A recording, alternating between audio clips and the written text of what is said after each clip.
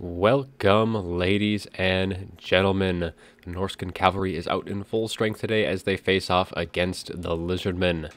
We have myself leading the Norscan forces, and Malverde will be leading the Lizardmen. So for the Norscan army, we have a bunch of skirmishing cavalry right here. So we have two units of horse masters, we have one horseman, and then we have two throwing axes in the rear. And so these two throwing axes, they do do good armor piercing, and they can do some good work against the dinos of the lizardmen, as long as they are able to get some steady fire over time. They do have kind of short range, uh, but they can do very well over the course of a match. They will be backed up by a pair of Norscan Warhounds as well as a Norscan Ice Wolf for the mobility, so very uh, mobile force for the Norscans, and then there's going to be a lot of infantry as well, as we have uh, just some Marauders in the front line with a pair of great weapons and some Spearmen as well in the rear.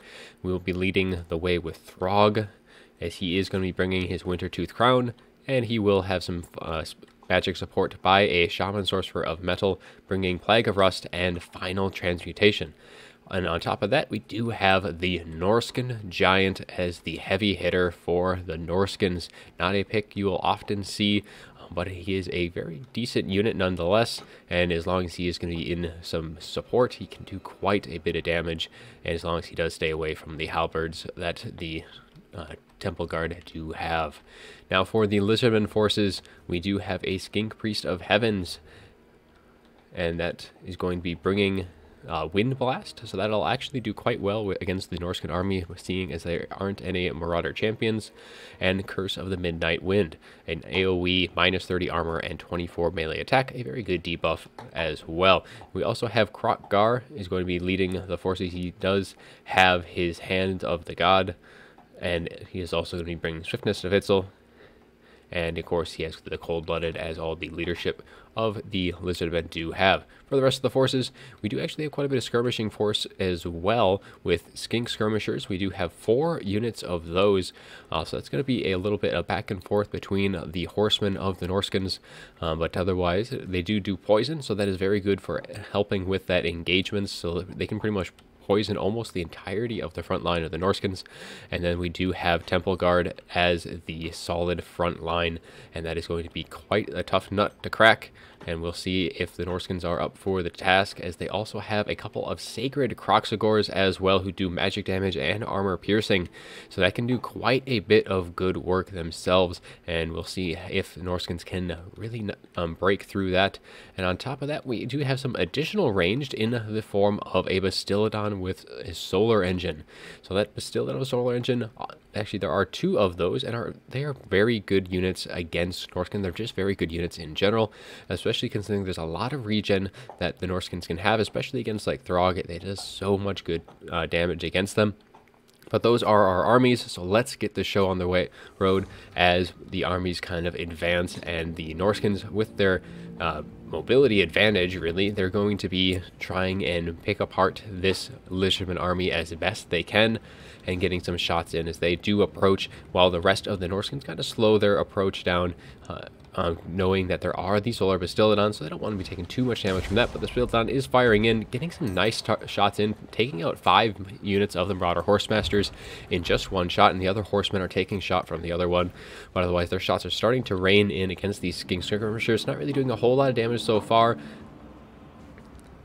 but the, uh, they do have quite a few shots to be um, dealt out as the throwing axe is now getting probably a little too close as two of the skirmishers are able to fire in. It is trying to get some damage done onto the Bastiladon, but they are going to have to pull back. There's just these skink skirmishers, there's just so many units. There's 90 per uh, unit, so that just is a lot of fire that can be um, thrown the way of the horsemen. And the horsemen, they really don't last too long in a counter skirmish. Uh, the horsemasters do a little bit better, but the horsemen themselves can take quite a bit of damage. Now the warhounds getting some nice charges in onto the skirmishers as the horsemasters do kind of follow up with a secondary charge. The temple guard are right here and they do pull back as soon as they get too close and not wanting to tangle with those temple guard at all.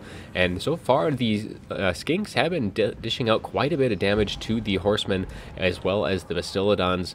Um, but so far the mobility is still in the advantage of the Norscans as they are starting to approach now through these two rocks onto the far side. What a nice pickup here by the Norscans with their Warhounds getting on top of the Skink Skirmishers, doing a nice bit of damage as they do cycle in and out of the engagement, doing some good damage. Another unit has been isolated as the Skink Skirmishers are taking quite a bit of damage from these Norscan Ice Wolves and a charge from the Horse Masters themselves.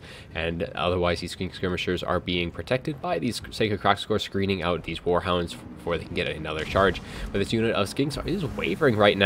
Uh, the, the Cold-Blooded is going down, providing a little bit of extra leadership, so a nice little cast by that keeping them in the fight as they are able to pull back behind their Temple Guard front lines.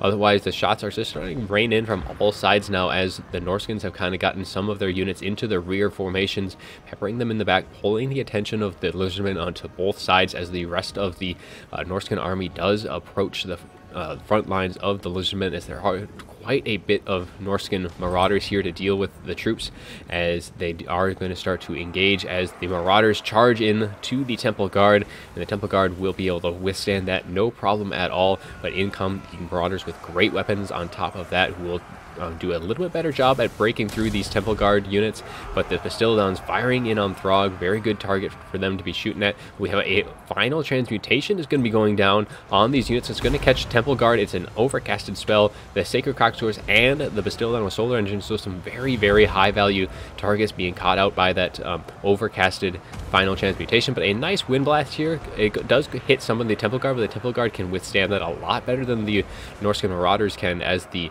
um, Marauders with great weapons do finally come in.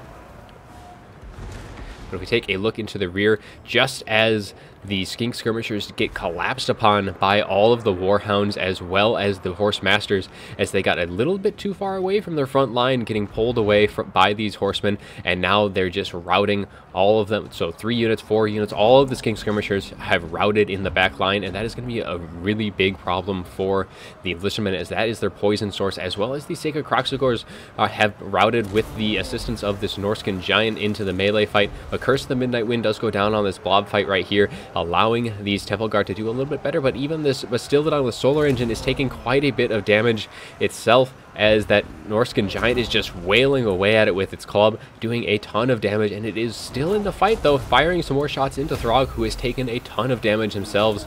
Now these Skink Skirmishers do not look like they are doing so good. Even the Sacred Kroxigors are being ex ex escorted off the map by these Norscan Warhounds, so things are going very well for the Lizardmen off, or for Norsca off the gate, as even the Now is routing, and this Temple Guard is just surrounded by three units of Norscans, and uh, it does go another Plague of Rust. Does seem to be going down on top of these Temple Guard to allow these Norscan forces to really whittle them down quickly. But this is going to be the blob fight right here that is going to have to hold out against the Norscan Horde as there's two Temple Guard as the Sacred Kroxigors are firing in. But that Bastiladon with Solar Engine still firing into Throg, doing a ton of damage and otherwise everything is not going so well. Kroq-Gar does need to get into this fight. He needs to assist this front line as it is starting to waver as the overwhelming numbers of the Norscans are looking to deal a critical blow as finally these Temple Guard do finally break, but the shots raining from this Bastiladon are still firing in, and there's nothing that the Norscans can really effectively do to shut that down. They can try surrounding it, but these horsemen are not going to be able to do a whole lot of damage if NA to that Bastiladon. They're just going to have to try and wear it down with these throwing axes as the rest of the forces do finally kind of start to move in for the final surround onto these two Temple Guard. The uh, Skink um, Priest of Heaven's trying to kind of I'm not really sure what he's doing here. He should be in the protection of these Temple Guard, as now Throg does kind of wade forward, trying to get some damage off, but he does uh, get out of the way in time, as the Sacred Kroxigors, though, are trying to chase him down. A nice Hands of the God connecting with Throg, doing a ton of damage, and that will actually pretty much put the nail in the coffin as he does go down. So that may be the Lizardman's way back into the um, game here, but the balance of power is in the Norscan's favor right now, as this Norscan Giant is still at full health right now, and yes, there is a bunch of Temple Guard, and they are very, very good anti-large, uh, but we'll see if that's going to be enough, because there's just so many Cav units left for the Norscans, and they all have some decent amount of ammo left, and they are getting a nice round off now onto the Bastiladon Solar Engine as they get at him before he is able to get into these Temple Guard and the Bastiladon trying to force his way into the protection of these anti-large units. Um, but we do have some units starting to rout right now. A mass rout by the Norscans, actually, as the Marauders with great weapons, all of these Marauder units are starting to rout now. And But the thing with the Lizardmen is they don't really have anything left that can chase it. You do have Kroq-Gar, who is the only thing that really has any bit of mobility left. The Skink Priest of Heavens is going down as he is getting surrounded by these Norscan Ice Wolves. But otherwise, things are maybe looking a little bit more decent for the Lizardmen but all these units are going to be returning to the battle, and uh, the Bastiladon does kind of get in with the uh, Sacred Kroxigor unit, and uh, these two Temple Guard are starting to whittle down this Norscan Giant, who is now without the support of any infantry units and that is not where that Norscan Giant wants to be. Uh, so we'll see if things are able to kind of pull things back for the Lizardmen, but that Norscan Giant now getting onto the target that he wants to is that Bastiladon finishing him off, and he's just doing so much damage with each swing of that great club of his, and he is just doing so much damage as the Bastiladon is wavering right now, and Kroq-Gar is nowhere to be seen. He is off trying to chase off some units, trying to chase off that Shaman Sorcerer, but that is going to leave his core units without support, and they will all rout, and that will be army losses as the Lizardmen do flee from the battle. So take a look at the after battle report here. The Temple Guard doing a good job of holding that line for as long as possible. Uh, the Norscan forces really didn't have anything that could quickly deal with them. Normally, I do like to bring uh, Marauder champions. Uh, that was kind of trying to mix things up a bit, going a little wider and bringing a lot of cavalry as well into the mix. Uh, that Norscan Giant actually did some very good work, gaining a chevron, doing a ton of damage to the two Bas Solar Bastiladons, but the Solar Bastiladons pretty much paid for themselves as they just took uh, out Throg with all of their shots throughout the course of the match. They did some good work too against all of the skirmishing forces of the Norscans, doing a lot of good damage there. But uh, I think a little bit of lack of mobility for the Lizardmen kind of played a key factor here. There wasn't any Terradons or anything like that to really uh, provide some uh, additional harass, and the Skink Skirmishers all got caught out at the same time, uh, far away from the support of their Temple Guard and other units. And once all that poison sources were gone, uh, that really left the Temple Guard and the, Bastiladons really kind of isolated a bit. Uh, they didn't have any additional support, and the Norscans were able to just get a nice surround off onto one flank and then just collapse upon the remaining two Temple Guard to take the day. But that is all I have for you all today, ladies and gentlemen. I hope you enjoyed the video, and as always, have a good one.